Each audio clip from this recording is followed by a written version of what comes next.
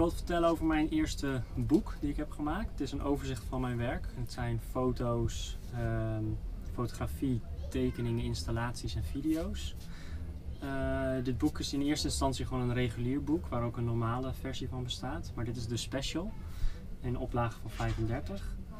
Je kan hem gewoon in bladeren, net als elk ander boek. Uh, reproducties van het werk met uitvouwpagina's.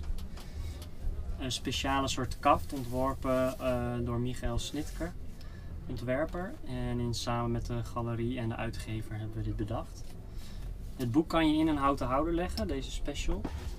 Ehm, door hem in de houder te leggen wordt hij verbonden met een magneetje met een opwindmechanisme.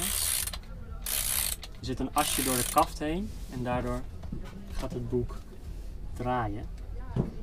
En zie je dat het blokje heel zachtjes uh, rondjes maakt.